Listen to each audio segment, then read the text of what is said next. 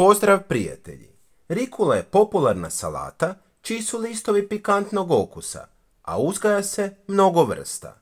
Većinom se koristi ova vrsta rikule, a u mojem podneblju raste rikula svjetlih i većih listova.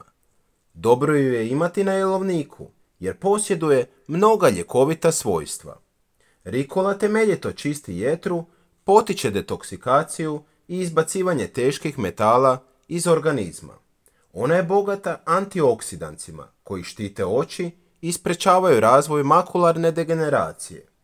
Rikula sadrži magnezij i cink, te djeluje kao prirodni afrodizijak. Ona je sjajan izvor vitamina i minerala, važnih za zdravlje kostiju i prevenciju osteoporoze.